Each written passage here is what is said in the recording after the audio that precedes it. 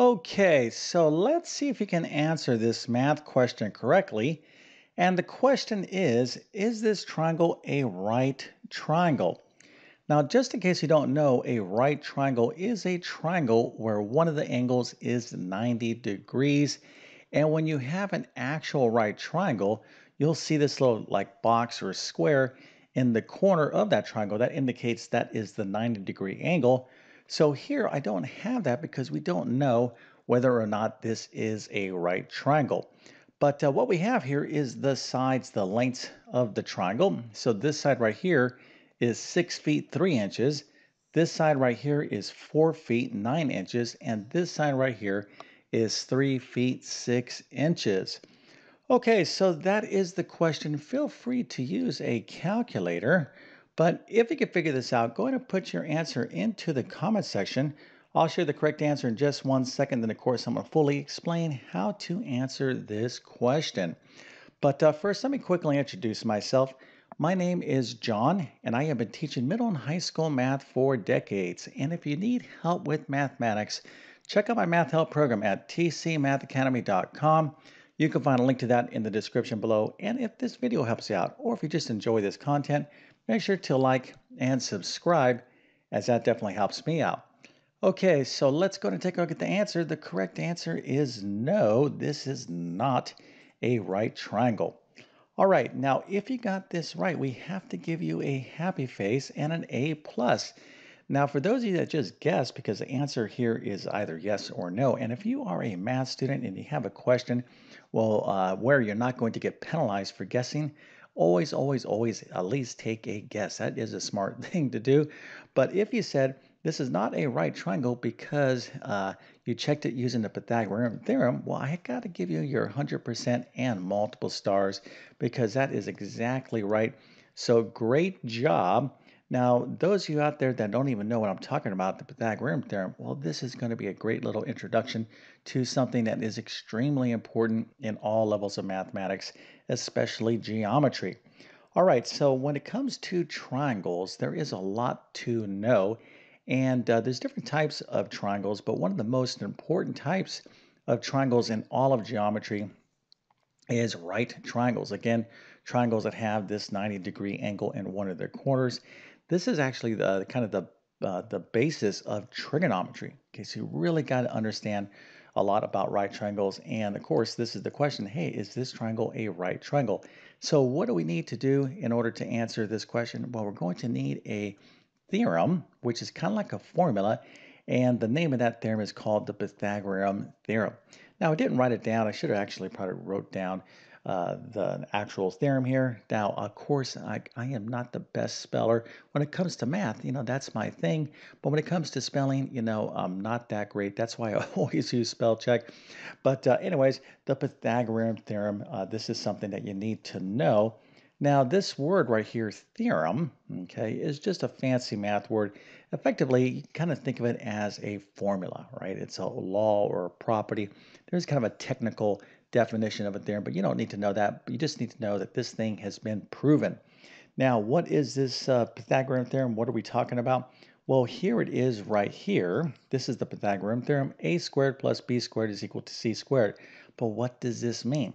Well, if you have a right triangle, okay, i.e. one of the angles is 90 degrees, then this relationship between the sides is always true.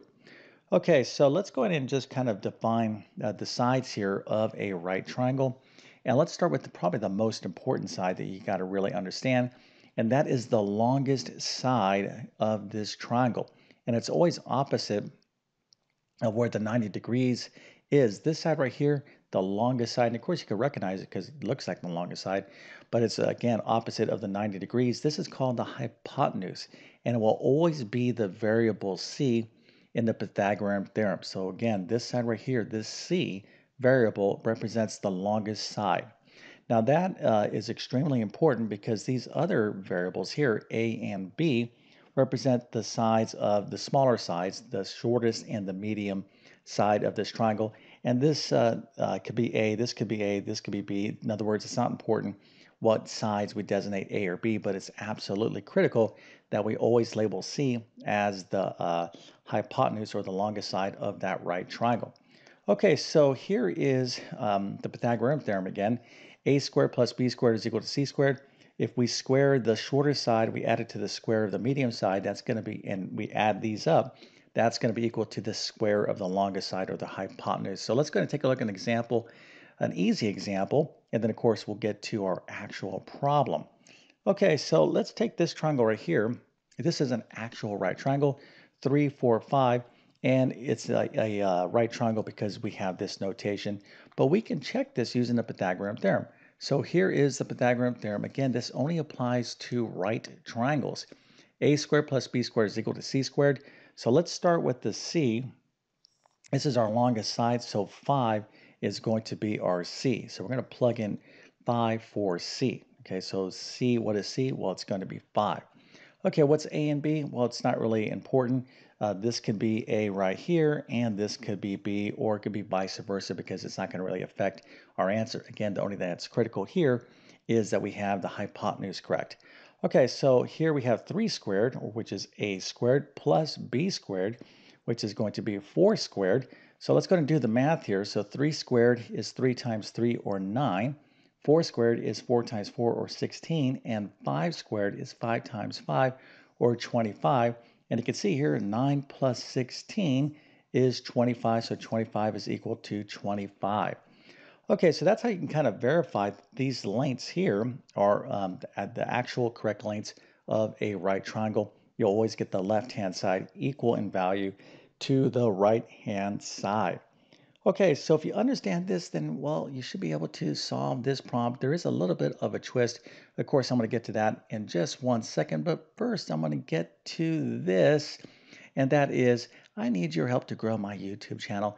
I wouldn't stop this lovely video if I didn't need your support. So if you think you're getting some little value from here, uh, from this video, you know, the easiest way to kind of show, uh, show support for my channel. And really what you're doing is helping me reach other people that need assistance in, math, math, in mathematics, excuse me, is just to hit that subscribe button. That's all I ask. And if you do that, you might as well hit that notification bell as well. And by the way, if you're new to my channel, I have well over 2,000 plus math videos from basic math to advanced math like calculus and everything in between. So if you're studying trigonometry, algebra, basic math, you can scour through all these videos on my channel. I made them for you. Now let's get back to this problem.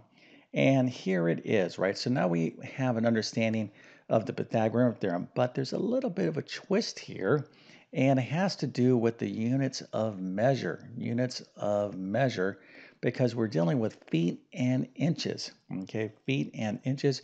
We need to kind of get this in one unit. So it can either be all inches or all feet, but we can't really uh, operate um, or use the Pythagorean theorem until we fix up these units of measure. So we're going to have to do that first. So let's go ahead and start converting these units.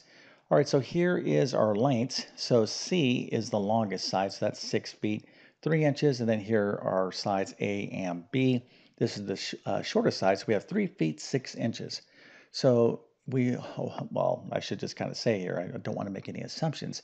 Uh, hopefully you know that in one foot, okay, there are 12 inches, right? So if I have three feet, six inches, and there's 12 inches in one foot, well, you know, that's going to be 3.5 feet, right? Because six out of 12 is one half or 0.5. So let's use decimals here just to make our life easy.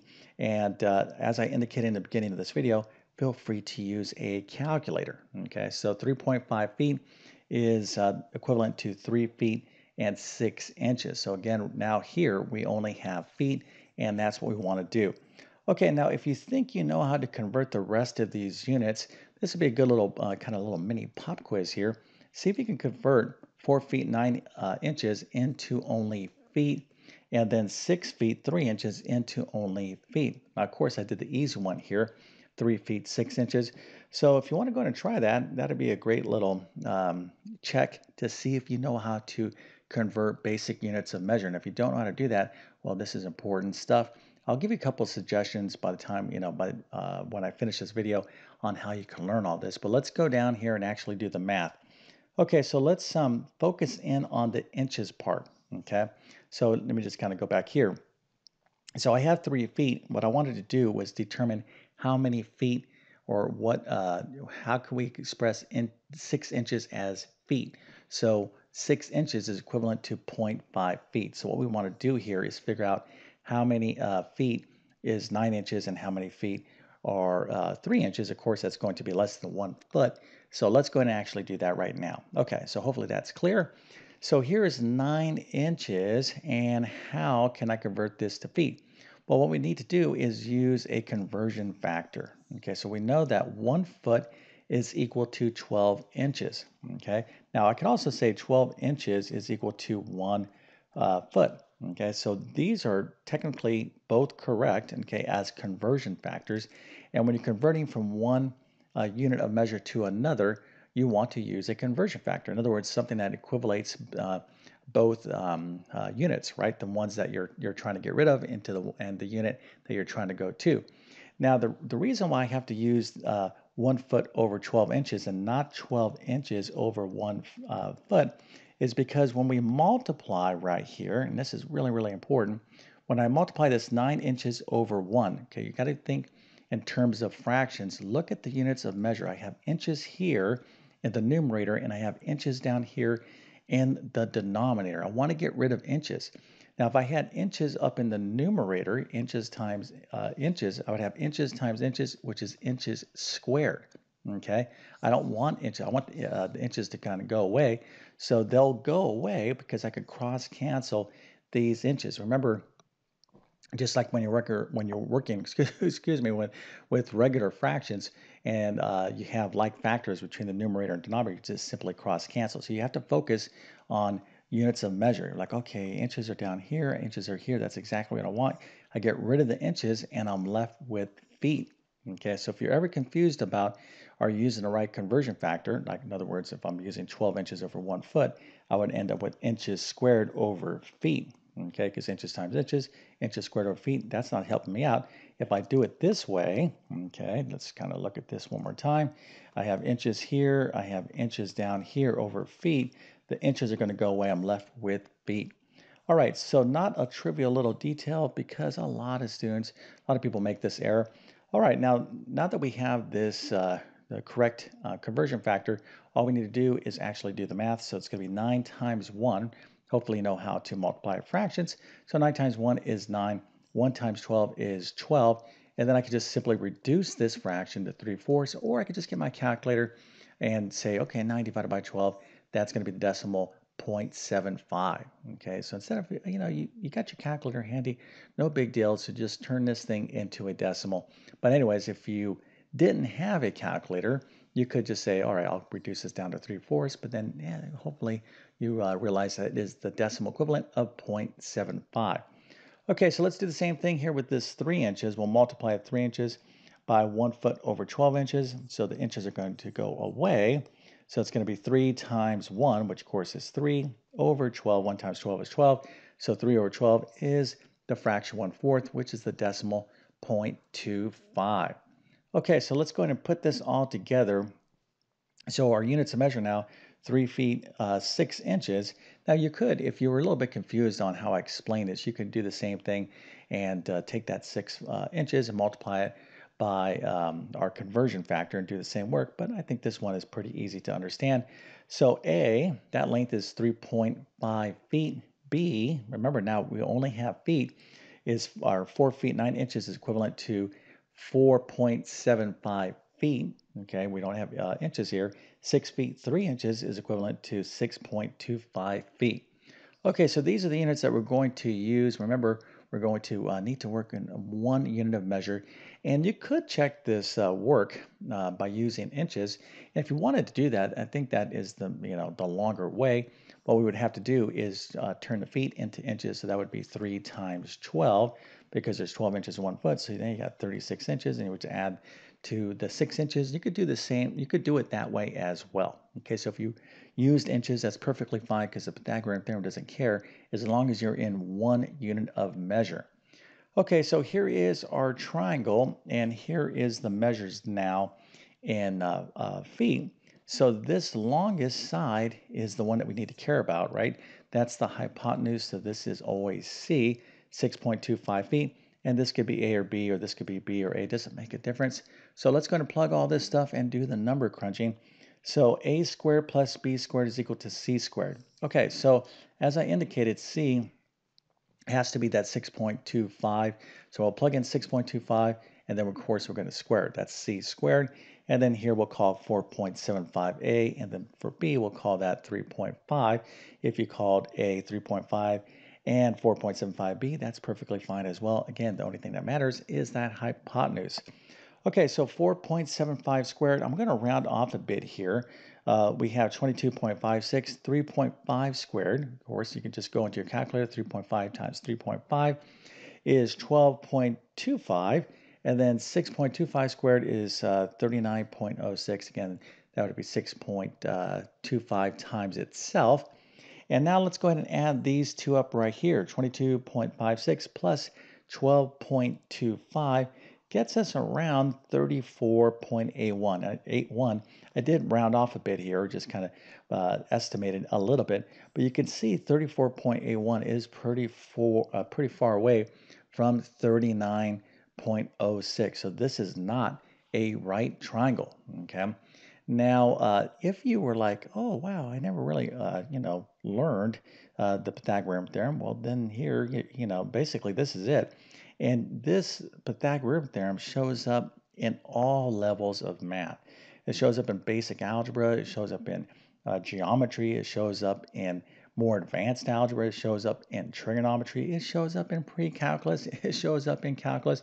It is a critical formula for you to understand. Now, if you need to learn more about geometry and triangles, let me give you a couple suggestions. Uh, now, I'm going to leave links to these courses in the description. One, you'll find my full geometry course. That's a full one year course that's designed mostly for like let's say high school level students that need to you know learn a full one year geometry course so if you're interested if you're interested in that you can find you know that course again in the description now if you just need some basic assistance with some basic geometry i got uh, two suggestions for you one, check out my pre-algebra course. I teach uh, basic geometry in there, but some of you may not even be students. And if you're not students and you still are interested in learning mathematics, check out my new course, Math Skills Rebuilder. I teach you basic math, algebra, geometry, basic trigonometry, and even some probability and statistics. So that course is designed for those students or those people that are not students but just want to rebuild or maybe learn math right for the first time in their life. Okay, so hopefully this video was interesting, and if it helped you out, don't forget to like and subscribe. And with that being said, I definitely wish you all the best in your mathematics adventures. Thank you for your time, and have a great day.